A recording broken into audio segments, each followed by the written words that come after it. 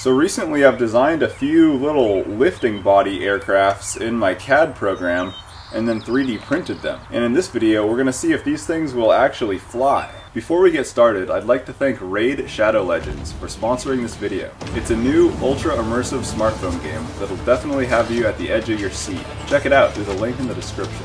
So now let's get started with some awesome lifting body and blended wing aircraft tests.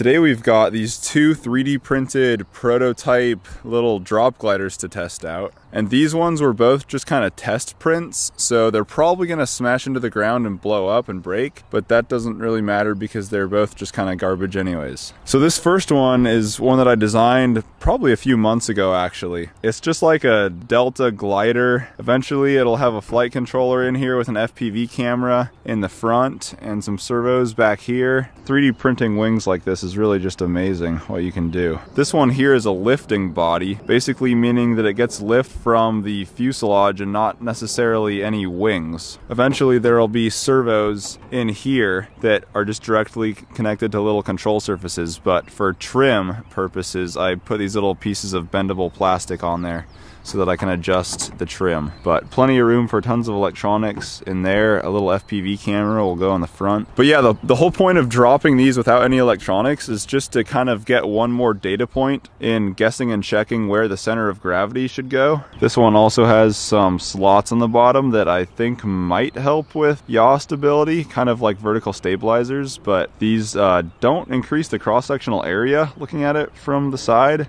So I don't really know if they'll help, but it's a good test, kind of fun to play around with. These lifting bodies were um, experimented with back in the 50s or 60s or 70s, I don't know when, but they were considering using them to get astronauts down from space. And people flew in these like wingless aircraft that were dropped from high altitudes and they landed fine. They flew really well actually. So, so we've got the trusty Alta 8 over here and we are going to drop them. The drop mechanism is this simple servo that sticks a push rod through a hole in a piece of wood. Dropping in three, two, one.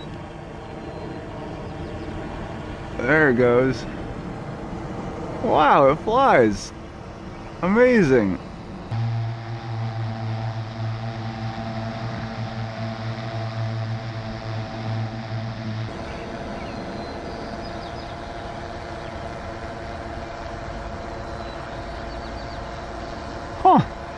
Wow, that worked. So now let's try this guy. Um, I wouldn't be surprised if it smashes into the ground, but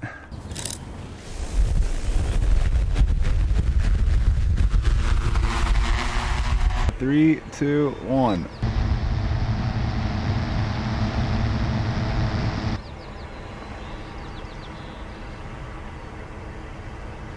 It's tail heavy. Oh. So there's actually very little damage. Yeah, I could definitely try it again. The oh, it is kind of cracked in half. I'll put some more weight in the front and get the CG a little further forward.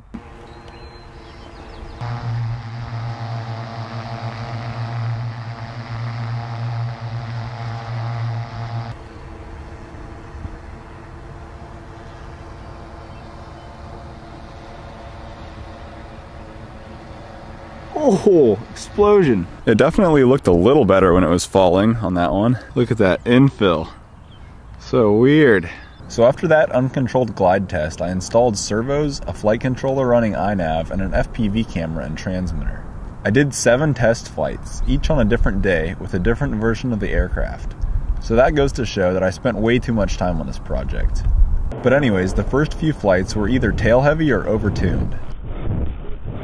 The tail heavy flights were just uncontrollable, and the overtuned flights had oscillation.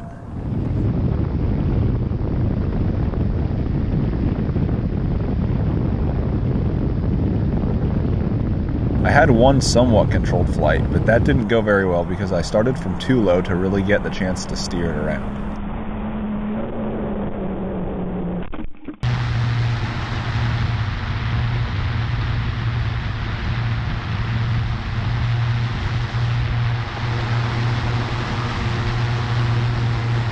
Once I started being able to somewhat consistently control it immediately after release, the vehicle started randomly going into flat spins that were impossible to get out of.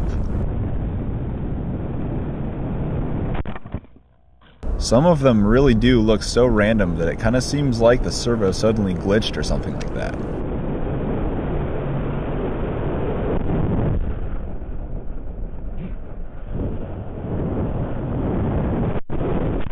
But I do think it's really just aerodynamically stalling and going into a spin.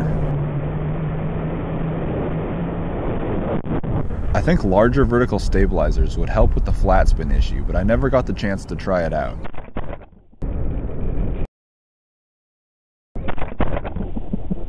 So after that, I made some design modifications to hopefully help.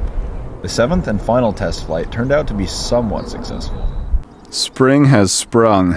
What a beautiful day. And this time we've got this version, and they're slowly kind of evolving further away from an actual lifting body.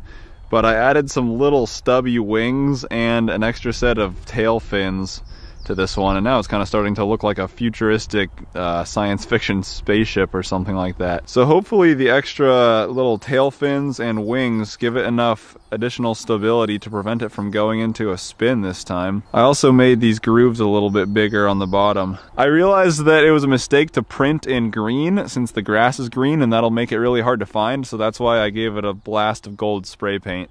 I didn't flare and land softly like I was initially hoping to do, but I did have a little bit of control over the aircraft all the way down to the ground. And it did prove that the thing does fly. Not well by any means, but it flew.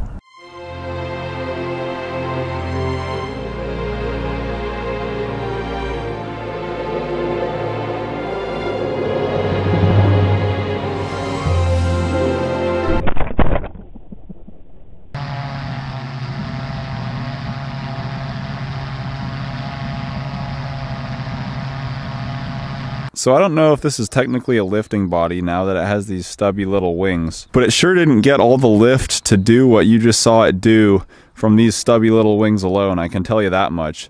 So there's definitely some lifting body effect going on here. So I'd say it's safe to call it a lifting body. Now, as I've learned here from these series of tests, Lifting bodies are not easy to make fly, especially to make glide. The lifting bodies that NASA were building were more successful because, for one, they put a lot more time and effort into tuning their control systems. And I'm sure this is easier to make work at larger scale because of the inherent stability of larger aircraft. But still, these vehicles are naturally very aerodynamically unstable. And a lot of those real lifting body aircraft that were made in the past were actively stabilized and they would have not been able to fly um, it, without the active stabilization systems. So this is definitely a challenging project. This project has also been quite resource intensive for uh, PLA filament. Another reason this thing stalls so easily is that it's a tiny plane that weighs a lot. I think one of the versions weighed 1.7 pounds, which is a super high wing loading. There's something really cool about a high wing loading aircraft doing a nice flare right before landing. So I had one decent flight, I'm gonna call it at that. I still really didn't get the chance to do what I initially wanted to do, and that's come out of a dive and then flare up for totally horizontal flight before landing. I had the idea of kind of pulling in the community to help with this project. So if anyone out there wants to design a lifting body type shuttle kind of aircraft, I would definitely print it and fly it if the design excites me enough. I think it'd be cool to make something that's kind of like a mix between this and the blended wing aircraft at the beginning, and just load it up with a ton of weight so that it has to fly super fast. But anyways, if anyone's actually interested in something like this, I'll post some more details in the description. Now another word about the sponsor of this video. I don't play many video games, but when I do, I'm sure to play Raid Shadow Legends. It's the most immersive RPG online phone-based game of the year. Forget everything you think you know about mobile games because one of the most ambitious RPG projects of 2019 has just been released, and it's going to change everything. Introducing Raid Shadow Legends. Playing Raid is the most immersive experience you'll find on smartphones, and it can really only be compared to the biggest PC and console titles. The game is totally free. It has all the features you'd expect from a brand new RPG title. Amazing storyline, awesome 3D graphics, giant boss fights, PvP battles, and hundreds of champions to collect and customize. I never expected to get this level of performance out of a mobile game. Look how crazy the level of detail is on these champions. Raid is getting big real fast, so get in early. Starting now will give you a huge head start. So go to the description of this video now and download Raid only through my link to get 50,000 silver immediately and a free epic champion, part of the new player program. Thanks again to Raid for sponsoring this video. So that's all for this project. Hope you enjoyed. Thanks for watching. Bye bye.